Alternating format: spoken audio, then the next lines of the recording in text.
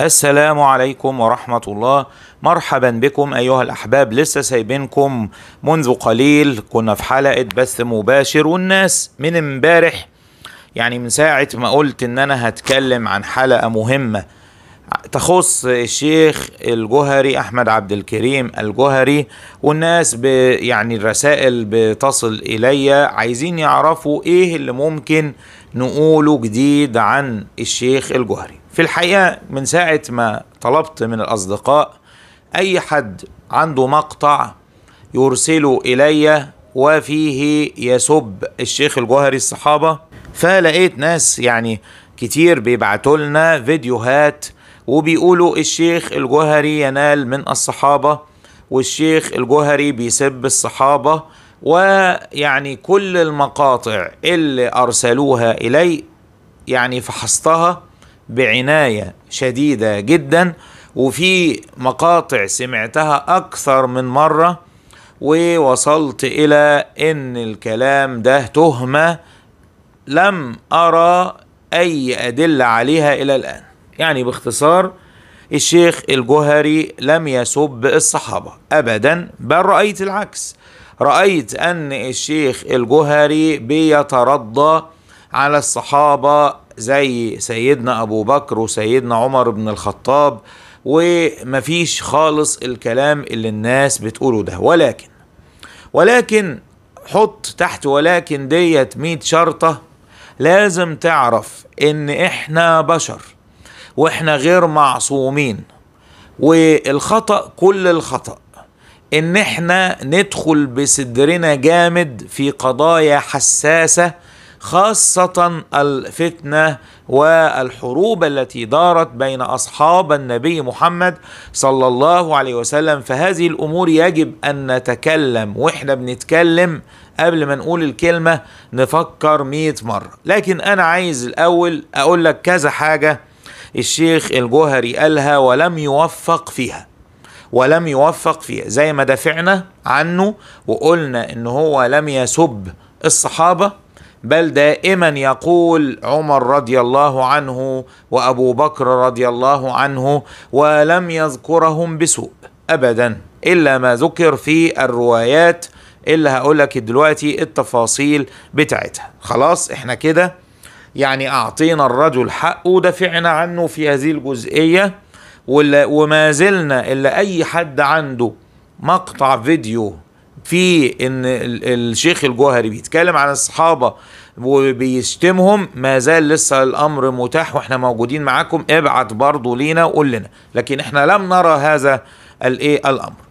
عايزين بقى نخش في الحاجات التي لم يوفق فيها الشيخ الجوهري. الشيخ الجوهري قال بالنص في إحدى الفيديوهات بتاعته الحلقات بتاعته قال إن السامري كانت له أهداف ودخل في المجتمع بتاع المدينة والسامري هو الدجال طبقا لكلام ووجهة نظر الشيخ الجوهري. أنا مش مختلف معاه لأن مخططات الشيطان ومخططات الدجال موجودة والدجال شاب معمر وحذر منه النبي عليه الصلاة والسلام فمفيش أي مشاكل لغاية دلوقتي. لكن اللي أنا عايز أديك البعد اللي أنا عايز أديهولك ودي من مفاجآت هذه الحلقة الشيخ الجهري من آل البيت. الشيخ الجهري من آل البيت. عارف يعني إيه من آل البيت؟ يعني الشيخ الجهري من آل محمد.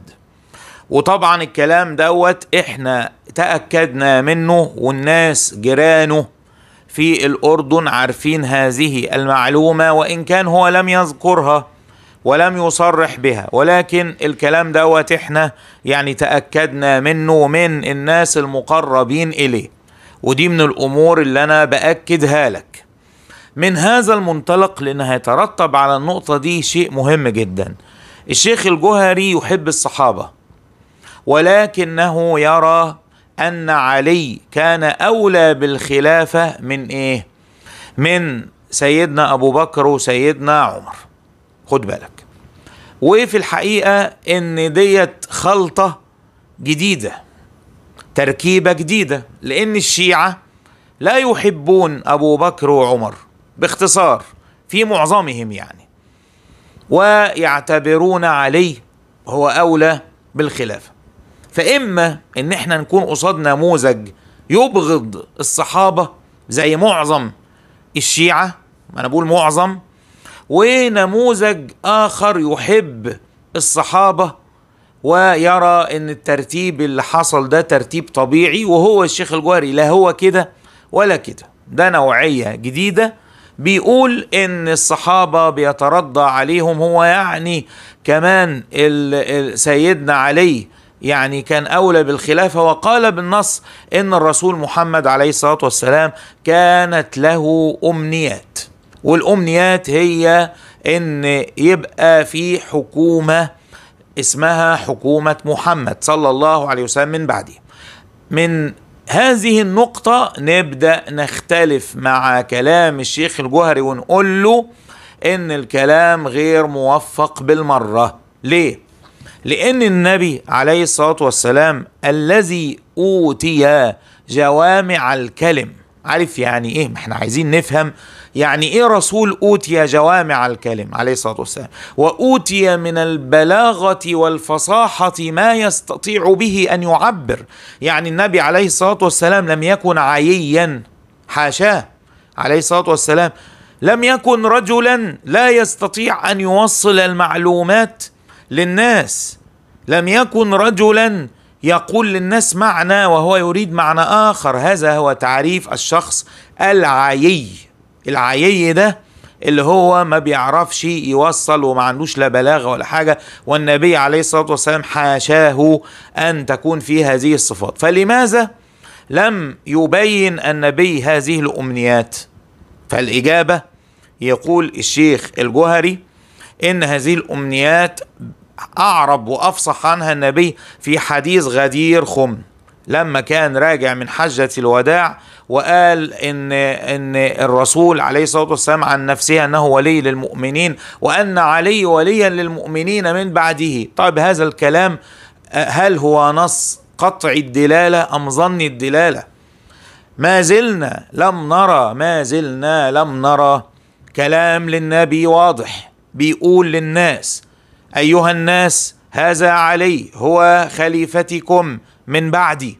لم يحدث هذا الكلام. ما قالش ما قالش النبي عليه الصلاة والسلام. وأنا بخاطب هنا السنة والشيعة والشيعة قبل السنة الناس العقلاء.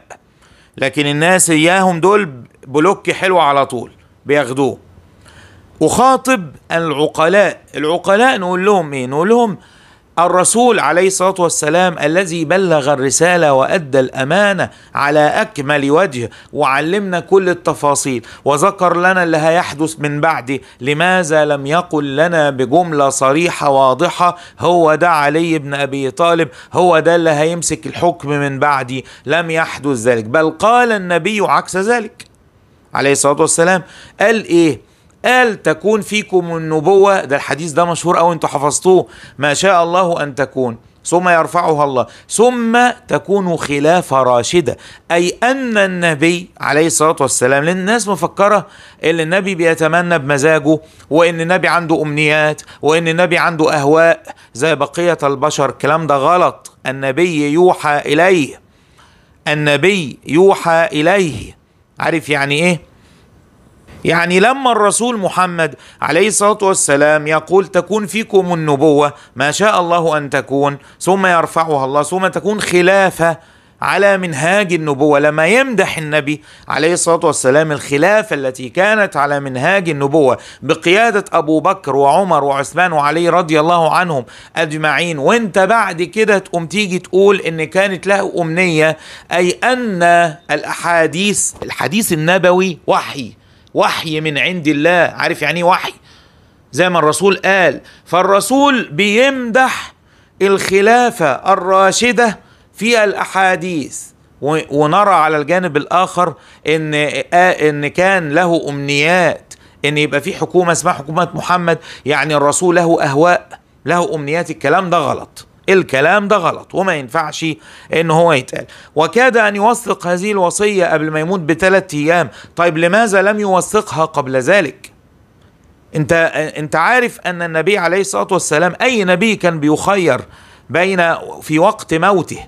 أي نبي يخير في وقت موته؟ فلماذا الرسول عليه الصلاة والسلام لم يحسم الأمور قبل أن يدخل في مرض الموت. وهو قال للسيدة فاطمة إن هو هيموت في هذا المرض يعني كان عارف. طيب لماذا لم يقل؟ انه يوحى إليه. لماذا لم يقل للناس ويلحق الناس؟ طيب إيه هو موقف علي بن أبي طالب؟ إيه هو موقفه؟ إيه موقف سيدنا علي؟ لما جاءه أبو سفيان وأراد أبو سفيان في ذلك الوقت أن يعني يقلبها حرب بعد البيعة اللي تمت في سقيفة بني سعيده وكانت بيعة مباركة. وكانت بيعة مباركة. بقول بملء الفم. ليه؟ لأن الأمة لم ترى فتن الا بعد انتهاء الخلفاء الأربعة. افهموا الكلام جيدا. ولم ينكر علي هذه البيعة بدليل إن هو كان من أقرب الناس لأبو بكر الصديق وكان اقرب الناس لعمر بن الخطاب في ولاية أو في إمارة سيدنا أبو بكر وفي إمارة سيدنا عمر بن الخطاب وكان أقرب الناس بأكبر دليل إن سيدنا علي بن أبي طالب كان بيسمي أولاده أبو بكر على اسم سيدنا أبو بكر ويسميهم عمر. أجواء كان فيها محبة أجواء كان فيها محبة. ف اجمالا عشان مش عايز إن أنا أطول عليكم أنا نقلت لكم لأن ناس ناس طلبت مني كتير. طبعا ما لم أحيط ولم ألم بالموضوع من كل جوانبه لأن لو عملت حلقة ألم بكل الجوانب عايزه ما يقلش عن ساعة كاملة. ولذلك أيها الأحباب انتبهوا انتبهوا جيدا إن الخلفاء الراشدين لهم كل الحب. أبو بكر وعمر وعثمان وعلي رضي الله عنهم أجمعين. وأنهم عدول كلهم وأنهم ثقات كلهم وكل ما نشب بينهم من خلافات لأنهم بشر وان الحق كان مع علي بن أبي طالب باختصار وده عايز حلقة في الخلاف اللي بينه وبين معاوية ولكن برضه كان في ملاحظات. ما زلت عايز أعمل لكم حلقة أكلمكم فيها بداية الخلاف بعد مقتل عثمان وتولية علي بن أبي طالب. وإيه الملابسات بتاعة الموضوع؟ وإيه موقفنا من معاوية ويزيد؟ معلش طولت عليكم في وقت الحلقة. بارك الله فيكم. سلام الله عليكم ورحمته وبركاته.